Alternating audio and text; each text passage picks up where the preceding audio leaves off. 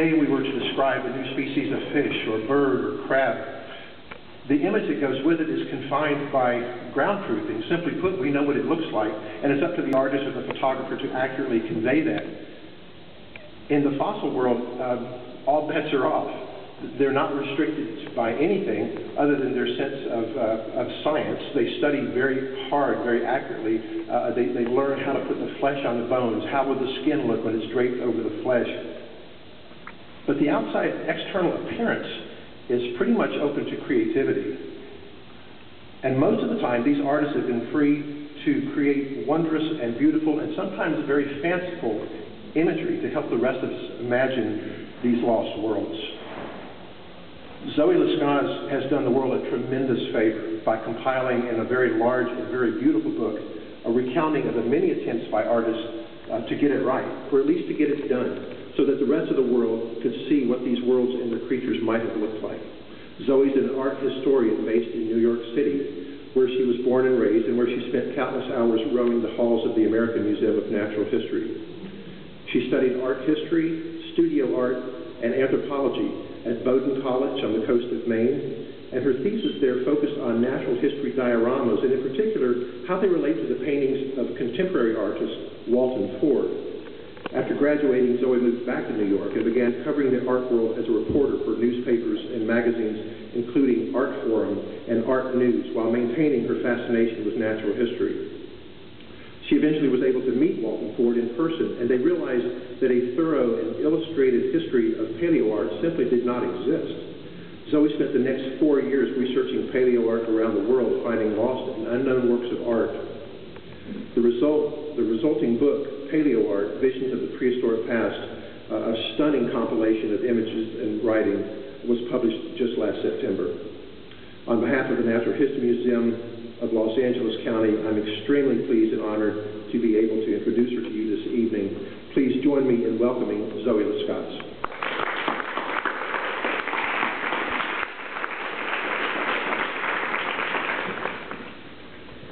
Uh, thank you so much, Jody, for that introduction. That was very kind. And thank you to Vanessa for organizing this talk and uh, the museum for having me. And also like to thank briefly everyone at Taschen, um, Jesse and James over there, and my editor, who's snapping photos right now, making me very self-conscious, Nina Weiner, who um, is, is really the reason this book exists. Um, she's, you know, the kind of editor who will take your calls at 2 in the morning and listen very patiently for half an hour as you explain the latest in the saga of getting image rights from Dan Eckberg, crazy Czech grandson and uh, then tell you, you know, after nodding along, that her house is on fire or that she just cut off half her thumb, and you know she should really go tend to that. But good job, Zoe. so um, thank you for your patience, Nina. Um, and, and thank you all for coming. It's, it's really amazing and daunting to see so many people here. So thank you. Um, but you know, I, I visited this um, museum before I even began working on the book, and um, remember zooming around, just completely bowled over by the wall of direwolves and Mark Hallett's mural and the, and the frieze upstairs, not imagining I'd be talking here. So thank you so much. But um, you all came to this lecture, so you probably know what you're getting yourselves into. But like Jody said, um, you know, paleo art is the practice of depicting prehistoric mammals and reptiles as they looked in life. Um, and I'm sorry if that seems basic, but over the four years I was working on this book, and a lot of people, their number one response uh, when I said I was working on paleo art was, you know, thinking I was working on Lascaux or Chauvet, and I'd have to apologize and say no, all of this is from the past 200 years. So, um, you know, also that's a very understandable mistake. So if you're in the wrong lecture, you can leave and I'll understand. But for those of you who stay. We're going to talk about paleo art, and um, you know this is art that has been made effectively since 1830, and uh, there are artists and scientists, sometimes artists who are scientists, who look at fossil evidence and then imagine what those animals were like in life uh, with their feathers and scales and skin on, as well as their environments, um, the weather and their habitat and their interactions with other animals and those lethal tar pits, um, like you see here, where we are now. And most of us have known what these animals look like since we were children. You know, a lot of five-year-olds can draw a triceratops. But we don't often pause to think about how we know what they look like or why we know what they look like. And, and that's one of the reasons I find paleoart fascinating. That's kind of this cultural uh, blind spot, even though uh, images of paleo art are everywhere you know, we see so many images of prehistoric animals, um, but we don't really tend to think about paleo art as a genre in the same way we do other branches of natural history illustration. You know, I think more people are probably familiar with um, the name John James Audubon than they are with Zdeněk Burian or Charles Knight or Benjamin Waterhouse Hawkins, even though these people are the whole reason that we have any mental picture of prehistory. So, um, I mean, to start at the beginning, this is the image that launched the whole genre. Um, this is a small watercolor called Duria Antiquioris, or a more ancient Dorset. And it was painted in or around 1830 by an English geologist and clergyman named Henry de la Beche. And, um, you know, it's, it's really quite delicate. It's no more than 12 inches, um, or 12 and a half inches on one side very small, and it's uh, tucked away in this drawer in a back room of a museum in, in Cardiff, Wales. And I remember um, visiting the museum and, and having it taken out of storage and just being, you know, knocked, knocked out because it's really sort of the stake in the ground. I think a lot of the sort of tropes that we have in our mind now about prehistory start here with this first imagining of, of that world that no one has ever seen. So you have more than 30 animals. It's a little hard to see, but more than 30 animals, and you know they're swarming around. Everyone's chasing each other, or about to get eaten, um, or bleeding, or in the case of this one plesiosaur, defecating, and you know it's total mayhem. And I think you know at least at least for me, um, when I pictured prehistory, when I still do, you know it's it's not a bunch of you know T-Rexes sleeping or being sick or tired or facing the wrong way you know, it's animals locked in combat. It's, you know, saber-toothed tigers squaring off with prehistoric humans, or it's sea creatures battling one another, and, uh, and volcanoes going off in the background. And, and a lot of that really starts here. So um, the amazing thing about this image, though, I think, is that, you know, Henry, Henry de la he really wasn't um, trying to launch a whole genre when, when he painted this. He was just basically trying to help a friend. Um, he was born into money um, in uh, at the end of the 1700s, 1796, and he um, had just gotten himself kicked out of a pretty prestigious military school in England um, for bad behavior. Um, and he moved, when he moved to Lyme Regis in 1816 and he uh, he was wealthy. His father owned a pretty lucrative Jamaican sugar plantation, um, and it was in Lyme Regis, this coastal town on the southeast coast of England, where he met a girl very, very different from him, uh, named Mary Anning. And she was a few years younger and uh, born into poverty. Her father was a carpenter and a furniture maker, and he uh, could barely support the family, and then he died, and definitely couldn't support the family. So uh, that job fell to her and her brothers. Um, and they and they made a living uh, scouring the beaches in this area for different fossils and the remains mostly of animals um, like ammonites, you know, these which have these spiraling shells, and belemnites, which are the squid-like creatures who fossilize into these sort of shafts. And they would sell these to tourists um, at a time when, interestingly, most people didn't really know what fossils were. Um, I think it's really important to plunge oneself into the mindset of someone who's not familiar with the concept of extinction to understand some of this early paleoart, because um, that idea was fairly new. Um, people had been sort of kicking around the idea that there were whole races of animals that no longer exist here and there, but it wasn't until 1796 that you get the first um, really airtight argument for prehistoric animals and extinction, and that comes from uh, George Cuvier, the eminent French naturalist. Um, and he, he was the sort of guy, as I'm sure you uh, all know, who, you know, you could hand him a skull or, or a little femur and he could tell you exactly what kind of squirrel it came from, or what bird, or what lizard, and he just had this incredible handling on comparative anatomy. So when uh, people brought him the bones of woolly mammoths from uh, Siberia, because mammoths do kind of pop out of the permafrost not infrequently, um, they brought him they brought him these mammoth bones and figured they were elephants, maybe elephants that escaped from Hadrian's army as he was crossing the Alps. But Cuvier looked at them and said, no, these aren't elephants. Uh, these are something else.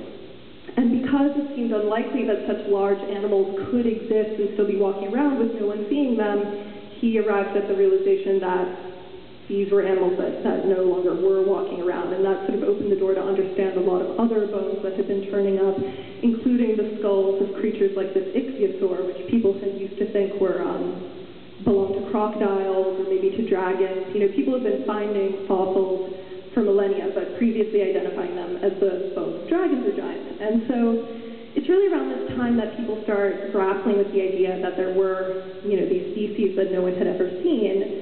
And um, Mary Anning was instrumental in, in our understanding um, of these creatures and sort of our getting to know them. She discovered the first ichthyosaur, what would become identified as the first ichthyosaur with her brother. She discovered the remains of the first plesiosaur, as well as the first pterosaur outside of Germany. And um, she would sell these fossils sort of a proper gentleman of science who would take them back to London and completely rip her off and take the credit for it. And, you know, for the usual reasons, being female, being poor, being uneducated, she didn't get any recognition. So De La Beche, who was a uh, fairly established geologist at this time, uh, saw what was happening, and his sense of justice compelled him to sit down and paint this painting. So that's how we get Duria Antiquior in 1830. And um, by this time, people had found remains of some other interesting new old animals. Um, this is sorry, I need to hold this back. This is the um, this is the first image of a dinosaur. And when I say dinosaur, again, this distinction is probably familiar to you guys, but um, I mean a, a group of terrestrial reptiles. So prehistoric marine reptiles, plesiosaurs, ichthyosaurs, not dinosaurs, pterosaurs, not dinosaurs, just these guys. So this is the first painting we have of a dinosaur. It's of an iguanodon. And iguanodons were discovered by uh, this country doctor named Gideon Mantell, who um, is just one of one of those incredible characters. Um, one of my favorite parts about researching this book was the wealth of completely larger than life, insane people associated with this tradition. And you know, briefly, he he was born in some cottage and he barely got educated because he's a Methodist, and he got apprenticed to a doctor, and basically. Um, went from sorting pills to becoming a full-fledged surgeon and doctor in his own right. And his journals and um, other other records reveal that you know he was seeing more than 50 patients a day. He delivered between 200 and 300 babies a year. Really hit the ground running. He opened his practice right during the cholera and typhoid epidemic, so busy, busy. But still found time for geology, which you know he's one of those guys who makes you feel amazing about the hours you spend on Instagram. and, he um, so he was collecting fossils, you know, when he wasn't with his family or wasn't delivering 200 babies, and um, one day he was visiting a patient, so the story goes, and either he or his wife found a tooth. And he believed it belonged to a large terrestrial prehistoric animal. And he got laughed out of town, including by Cuvier, who was wrong for once. Um, but eventually uh, was, you know, found more, more evidence and it was clear that this was a creature. So he, he called it iguanodon, which means iguana tooth, because its tooth looked a lot like the tooth in iguanodon. Descriptive, it's not very imaginative. Anyway, um, this image uh, kind of launches, uh, you know, one of the two schools I think we see in 19th century paleo art. You can really sort of divide a lot of the English imagery into two camps. One of which is sort of orderly, civilized, primordial world, and the other is nightmarish hellscape.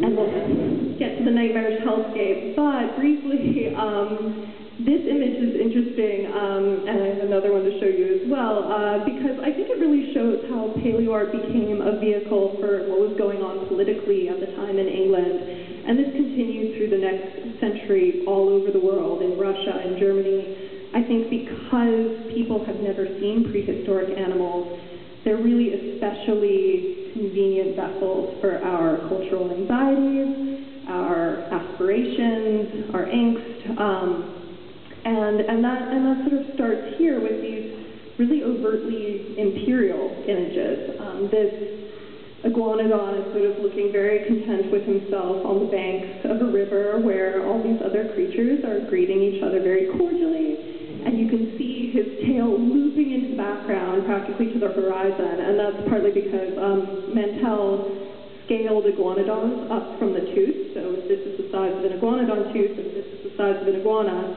he basically did the same thing for iguanodon and figured they would be 100 feet long. Um, very big, and they're not, they're like 30 feet, but still big. And so he has it presiding over this landscape, and it inspired a lot of imitations as well. Um, here's another sort of similar scene where he's greeting these ichthyosaurs like a king from his castle balcony. and, um, you know, uh, some of the writers um, who, who paired writing with these images, um, I think made the imperial colonial uh, aspects of the images very explicit in their writing. Um, this, this one guy, George Fleming Richardson, who was a curator and a geologist in, um, in the museum that Mantell eventually opened, he wrote about that other image. He said, the colossal iguanodon appears to reign undisputed monarch of the wild and wonderful scene, commanding the mighty Nile or still mightier Mississippi. So, you know, I don't think it's coincidental that he chose those rivers. These are areas, you know, Egypt and the United States that are of colonial interest to England at the time, and it would be nice to think of yourself as an undisputed monarch of these wild and wondrous scenes, um, and not like everyone wants you out of there. Um, but, you know, for every idyllic image, uh, you get a nightmarish hellscape. Um, and uh, that's actually not the one I wanted to show you, interestingly enough. Hmm, okay. Well, we have some other images of, of iguanas. Um, maybe I should just escape and find it. Sorry, no, that's going to be really awkward. Well, okay. um, take this as a surrogate. There are, there are a lot of really gothic images like these, right, where you have these sort of vampiric bats swooping in like Dracula from stage right, and you have these monsters facing off. You know, plesiosaurs, we don't know that they had forked tongues. They gave them a forked tongue to make it more like demons and Satan. And the language gets, gets very hyperbolic, um, and unsurprisingly so. You know, the 19th century um, is a time of, of complete an utter cataclysm. Uh, everyone's whole way of life was more or less being overhauled by the Industrial Revolution. Scientific discoveries were um, completely upending uh, commonly held beliefs. Um, you know, you get uh, the discovery of cells as well as X-rays and radio waves, things that show that you know, the universe was composed of, of things and forces that, that can't be seen by the naked eye.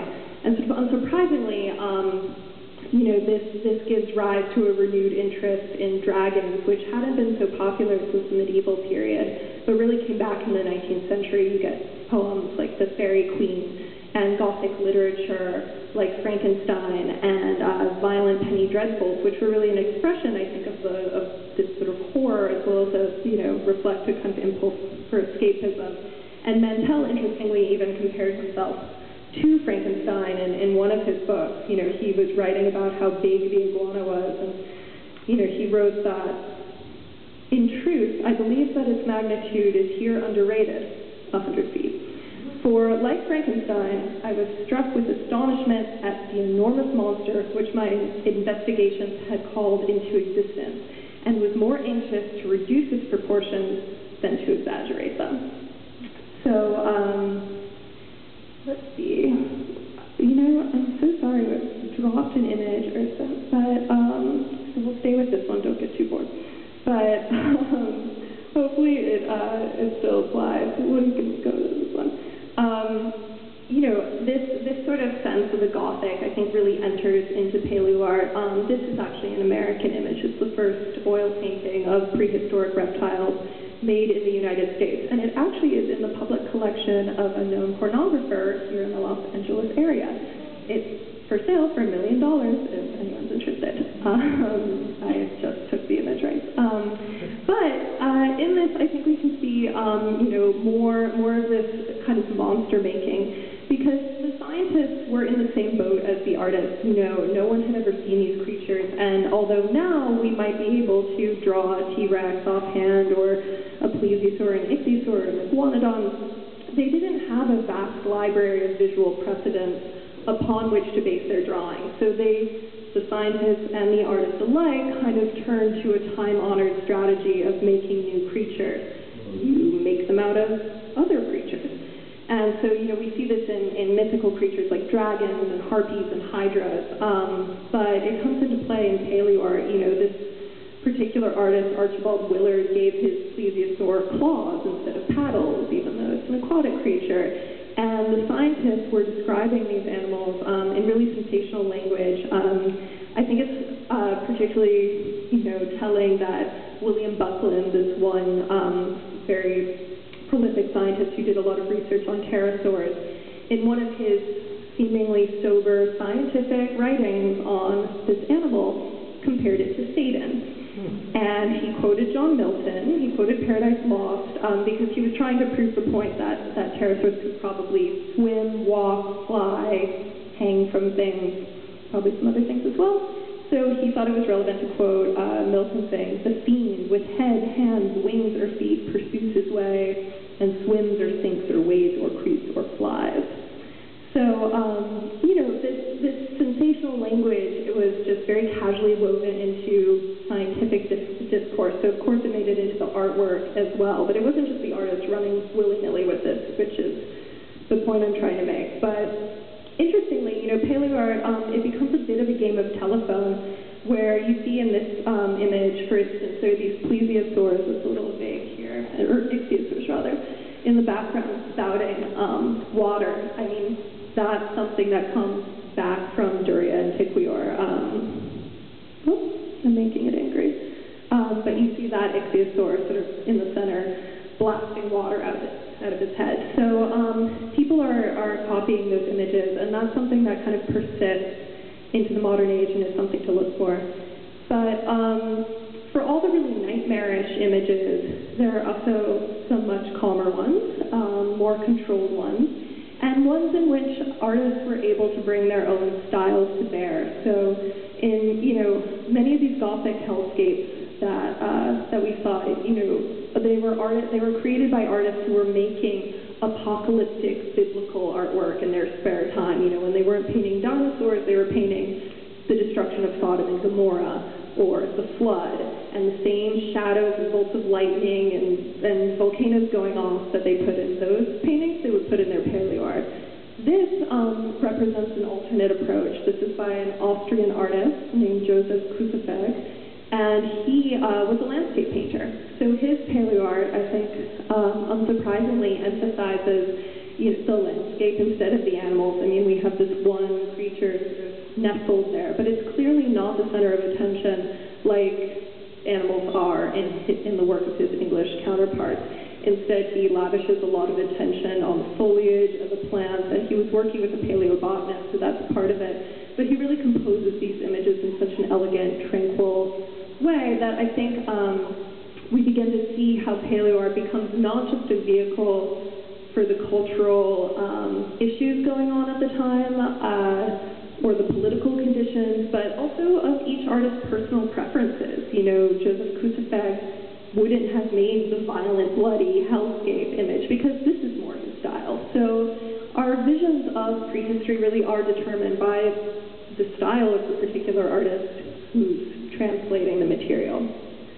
And this image is, um, is really fantastic uh, because it shows um, the real stake in the ground for paleo art going public and becoming the kind of pop culture phenomenon that it is today. So if now we're used to there being newspaper headlines um, whenever a new T-Rex you know, comes out of the ground and is going to go on view at a certain institution, it sort of stems back to the artist who, who created these sculptures, Benjamin Waterhouse Hawkins.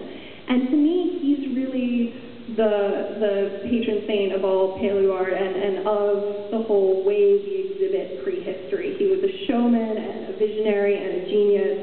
And until these came along, paleoart was not particularly democratic. All of the images we were just looking at were mostly frontispieces or illustrations in pretty expensive scientific books that wouldn't have been of interest to a general reader. The, um, the first image we looked at, Duria Antiquior, when, when it was reproduced as a lithograph to benefit Mary Anning, um, it was sold for really exorbitant rates, you know, more than most lay people would have made in, in a month even. So it wasn't that accessible. It wasn't like kids were obsessed with dinosaurs in the 19th century until Benjamin Waterhouse Hawkins came along.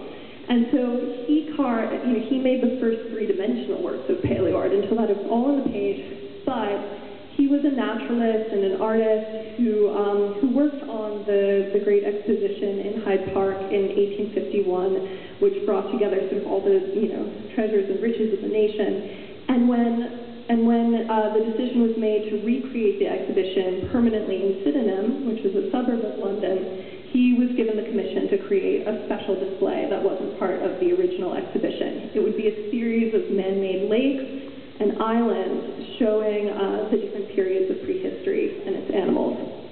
So he spent several years working away on these creatures in a studio on um, the grounds of on the grounds of Sydenham. They were open to the elements. You know, there were rats and birds scuttling around in his studio while he worked on these massive creatures. Each one required hundreds and hundreds and hundreds of bricks and tons of cement and iron casing. They were enormous, but they are enormous. They're still standing there. And, um, you know, he was also uh, really good at courting the press.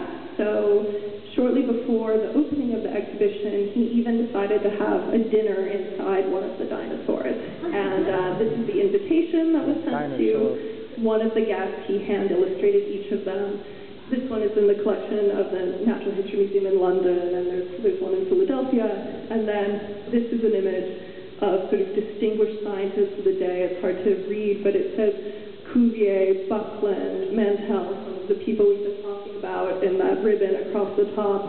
And the menu was lavish. They went through about a, half a million cases of wine and champagne, and um, the journalists all scuttled home and wrote about it. So he attracted a huge amount of press, and it's unsurprising that we get the first mention of a dinosaur in literature at this time um, in the opening pages of a Charles Dickens novel. So he really succeeded in bringing dinosaurs into the popular consciousness. And when the exhibition opened, uh, 40,000 people came to Sydenham on the first day alone, and 2 million people came there every year for the rest of the century. This was in 1854, so another, you know, 46 years. Lots of people saw these, and the few people who did make it in person would see reproductions of them. And so we see this kind of game of telephone happening, right, where you see that iguanodon in that posture, and then you see it again, you know, perching in pretty much the same way in a illustration for a German pop science book, and then in a Swiss T card, which is very small, this big.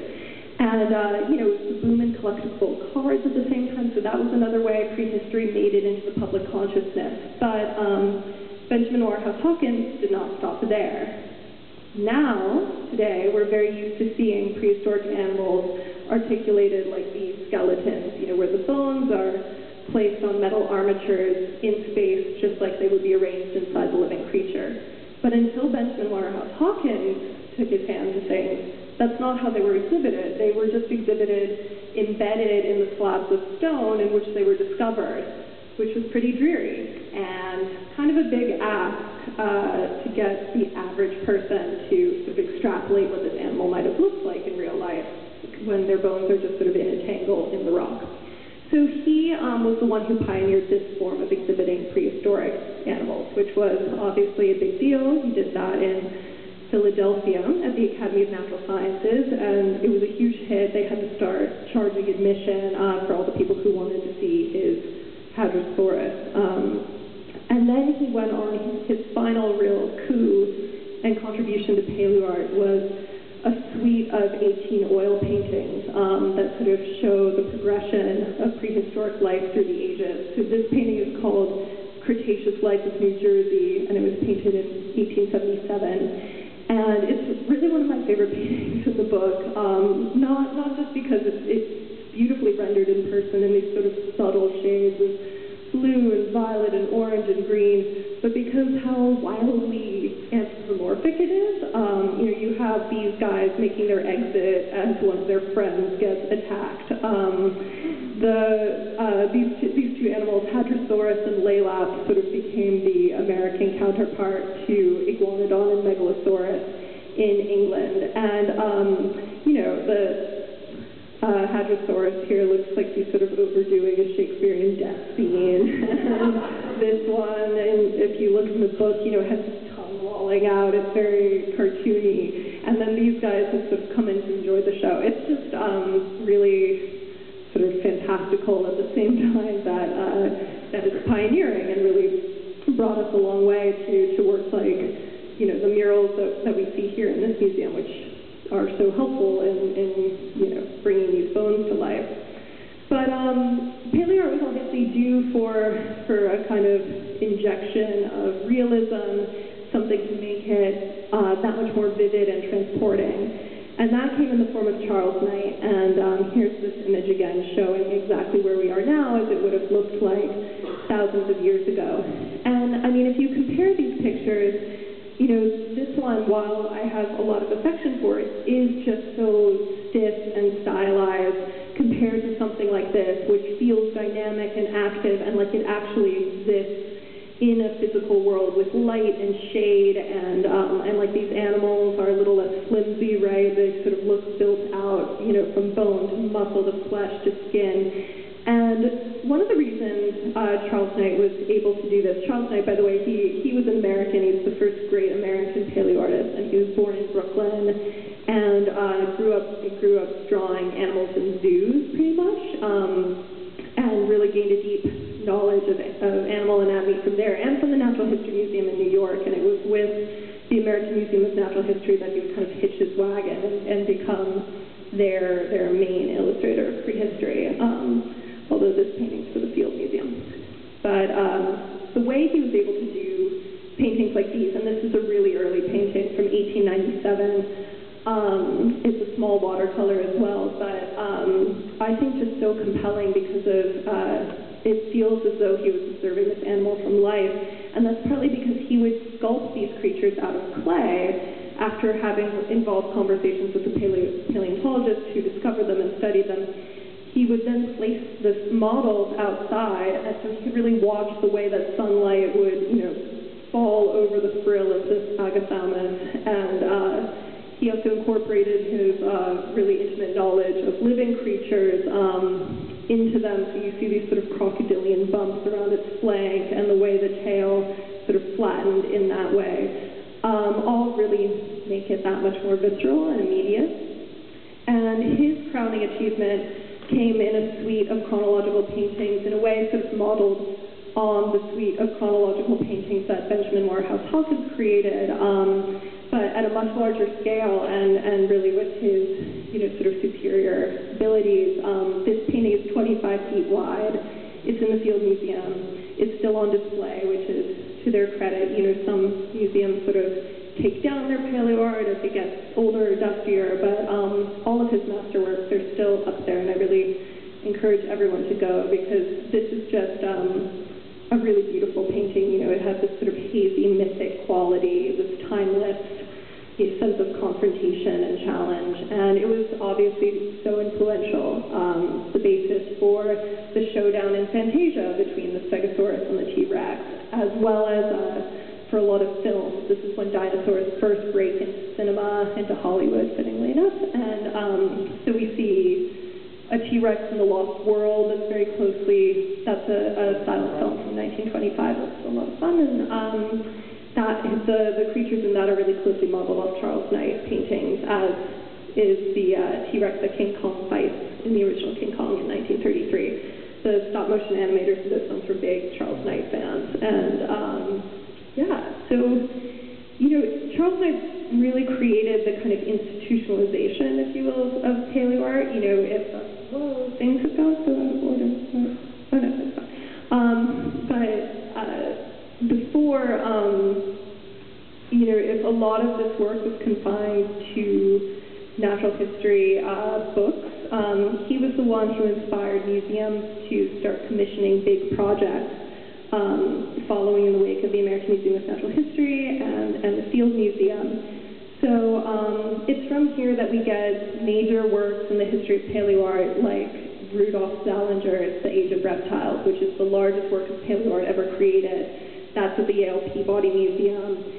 And um, as well as works in, in museums in, in France and Rennes and uh, on the walls of aquariums in Germany. And these, these works are in the book, but I kind of want to jump to probably my favorite artist in here, one of them, who's Zdeněk Burian, and here's his riff on that, that same confrontation. And I think in this painting even, you can tell, um, or you can see some pretty noticeable differences, how it's sort of charged with a more vicious sense of violence, a more sinister, tense atmosphere.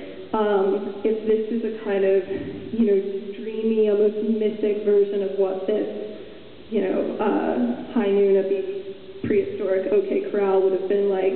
This looks like that uh, that Tyrannosaur might actually tear this animal apart. And I think that that is another case of um, an artist's biography as well as his political milieu um, influencing his paleo art and his paleo art becoming a vehicle for the time in which it was created. So Zdeněk Burian, he lived through two world wars, experienced the brief promise of the Prague Spring and then the you know, crushing Soviet invasion afterwards.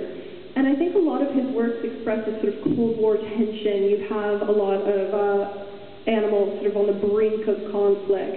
And his works, to me at least, um, are infused with a sense, um, an awareness that, that you know, we could, that humankind could, um, could destroy itself. And here are these big, strong animals squaring off, but they went extinct as well.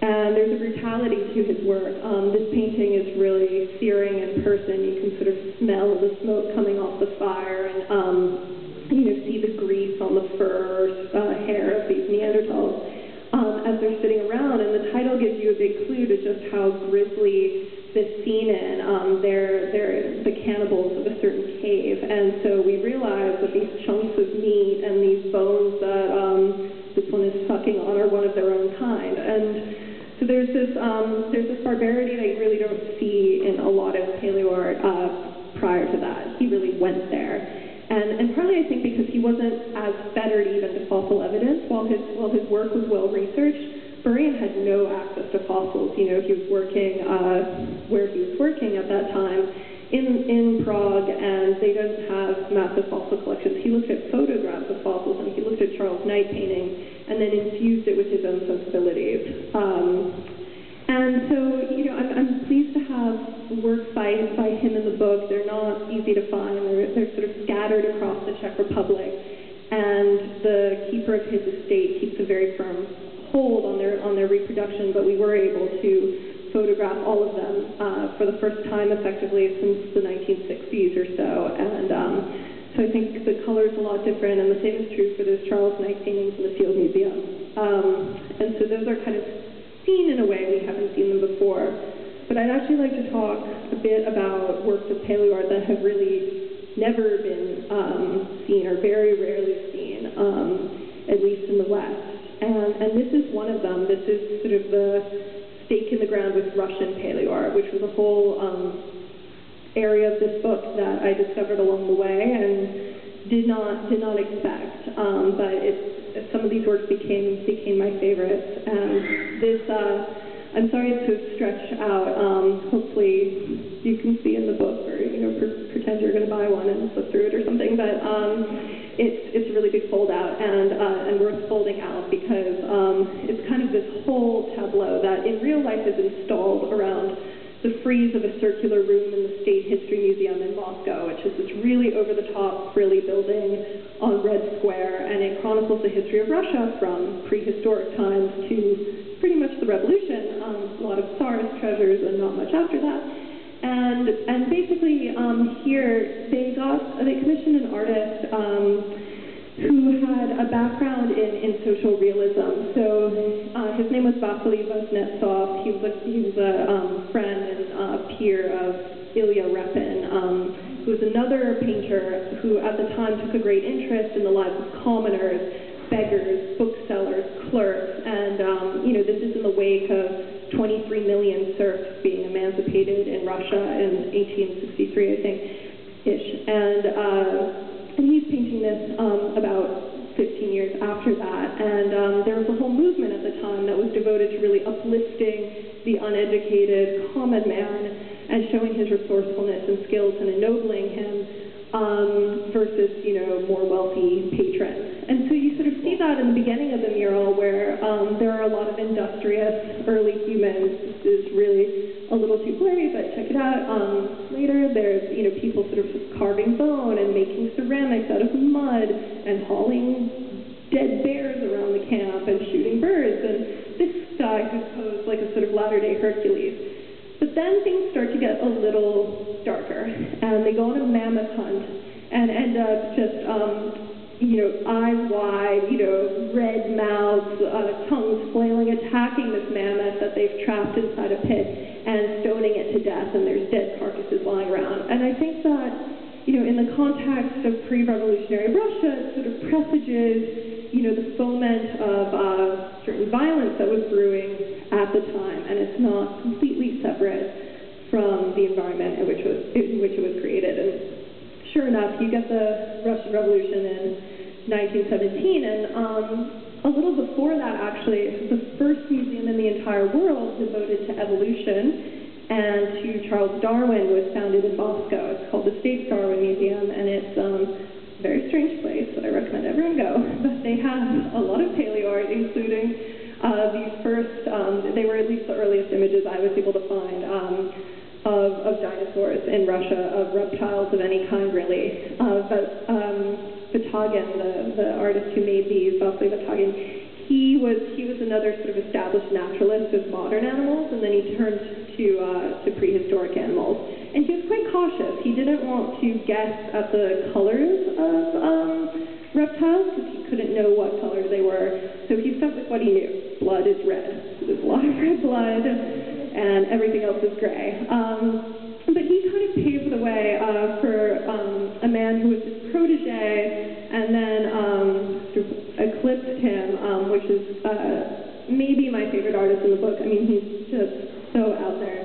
His name is Konstantin Konstantinovich Flerov, and he uh, he was um, a scientist primarily. He studied zoology but did not let that get in the way of his paleo art, which regularly um, completely departed from scientific imagery. Um, he just took great liberties with animal anatomy. Um, and instead, I think what you see in these colors is really, in these paintings, is really reveling in color and pure form, um, which was a radical thing at the time you know, during the, uh, the Soviet period, and these images were made in the 40s and the 50s and the 60s, um, subjectivity was discouraged and non-didactic uh, imagery was discouraged, and anyone who identified as, as a fine artist and worked in that capacity officially was under pretty close state scrutiny. So that's how you, of course, get all the images of cheerful steel workers and happy laborers and peasants that we associate with um, Soviet Russia. Um, and, in, and I think that paleo art really provided an outlet for a lot of artists to create less uh, boring and, and didactic imagery. You know, uh, under Stalin, you were supposed to look at a painting and walk away knowing exactly what to think. But if you look at this painting of this prehistoric mammal, I mean, what's didactic about it? We know that this animal drank water, okay? But mostly it's open-ended, and really the point of it seems so much more to be the color and these sharp diagonals, and, you know, especially the complementary colors, those blue and orange, you know, he's, he's sort of reveling in paint for paint's sake, and the way color vibrates on your eyes. Again, there's this blue and orange, and this lavender and gold, and really love this painting. Um, both this and the one before it are executed on just these flimsy scraps of cardboard. Um, and they're in a vault in the state in the State Darwin Museum, and um, I don't think have been that widely reproduced. Uh, but they're they're really great testaments to the way that paleo art, at least in this political context, could kind of upend the normal um, hierarchy between fine art and, and illustration you know, I, I mostly write about um, contemporary fine art, and of course the art world is very stuck up about itself, and there's um, quite the, you know, understanding that, well, there's fine art and then there's illustration, or other forms of visual culture, like advertising, which is, you know, didactic. You're supposed to know what to buy and, and how to buy it. But here, in fact, fine art became so much more uh, dull and prosaic, and uh, instead it was illustration where artists could really let their imaginations wander, and where we get to let our imaginations wander. So there are a number of images by him in the book that um, I'm really pleased to have in there. They're just, uh, I think, really transporting and, and, and wacky, too. I mean, his color is crazy. Um, but, you know, for, for all of the restrictions of the, of the Soviet Union, um, there also, under Stalin, was a huge culture of monumental decoration and public adornment. So, of course, you get huge campaign of statuary in the, in the various capitals. But you also, and, I mean, if you go into the subway stations in Moscow, there are chandeliers, and there's brass, and there's bronze, and there's mosaics, and there's marble, and there's candles. And it's really um, elaborate and over the top uh, in, in a way that I think helped some of the more grandiose uh, paleo art projects that you find anywhere in the world, including this mural, which is um, not to be too much of a New Yorker, but twice the length of a subway car. This is sort of how I think of it. It's very, very long. It's about 92 feet long. And it's really kind of uh, an image as fairy tale-like as some others are nightmarish. Um, it's all made very small here, of course, but there's um, this sort of beautiful Claude Monet water lily action towards the bottom, and these pterodactyls swooping under rainbows and dipping into the golden water.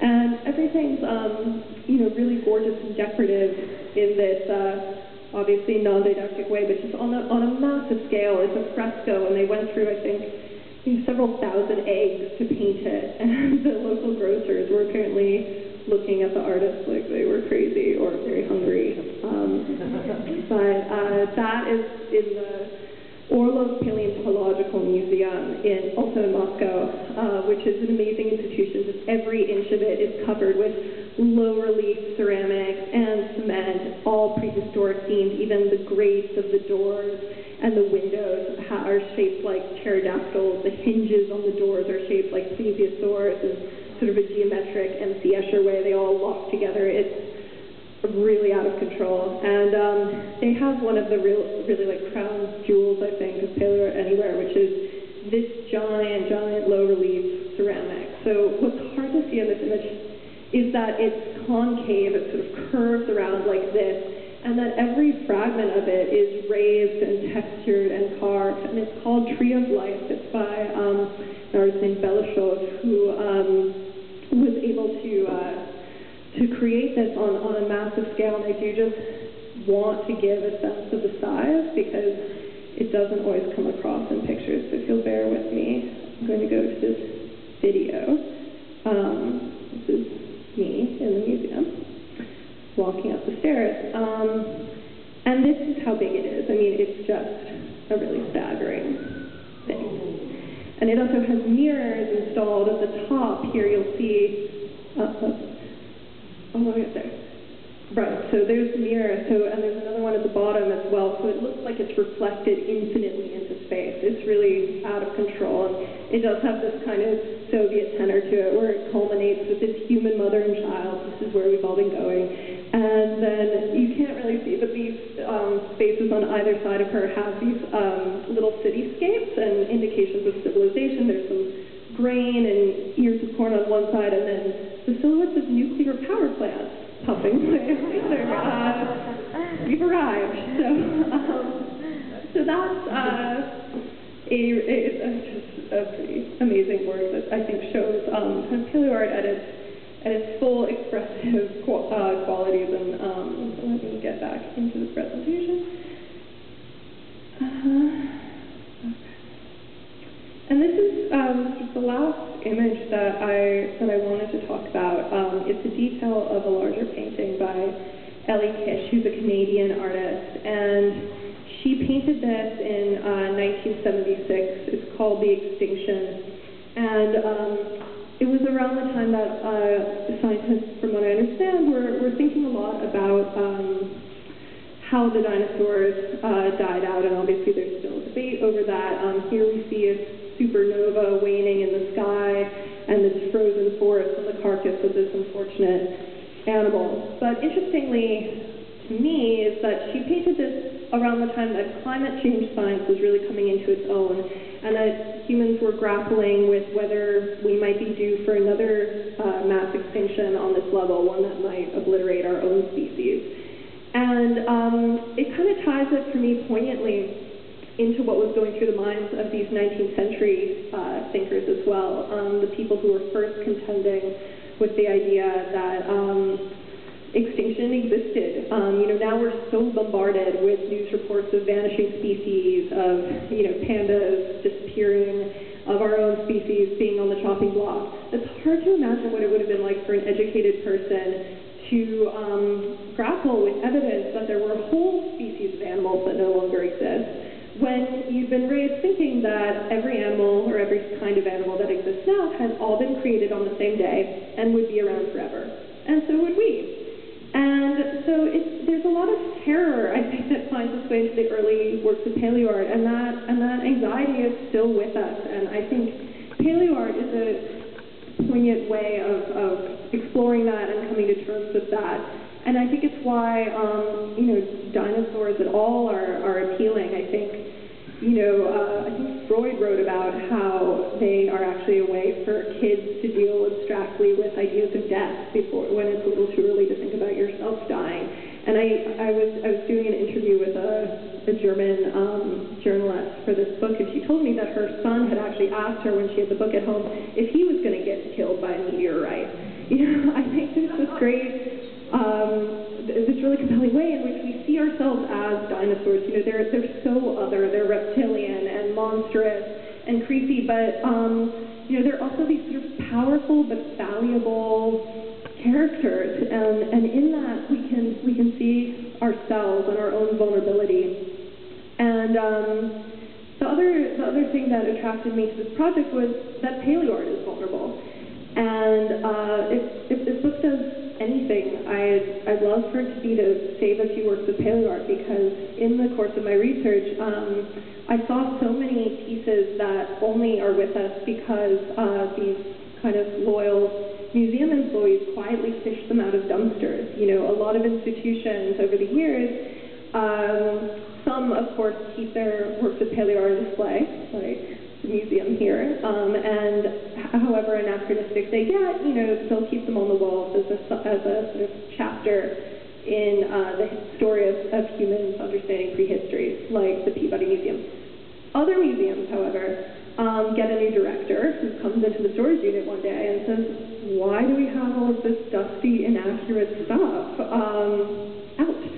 So, um, and, and that's because, you know, paleo art is not really valued like fine art um, as, as works of art um, in, in and of themselves. They're more seen as these documents and just translations of ideas, at least by by certain people. So I, I saw work by Charles Knight even, um, who, you know, if there's anyone who you think you'd keep around, it would be Charles Knight.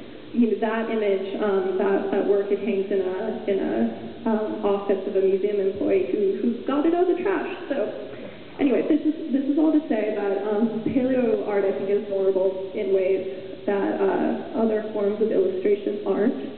And uh, that was really one of the, the pleasures of doing this project, to, to kind of explore it in, in an art historical way. I'm, I'm not a paleontologist, and um, the accuracy of these images doesn't interest me at all. Um, but sort of their, you know, when they get right, it's great, but their departures from reason are as interesting to me. And uh, that is, that's paleo art.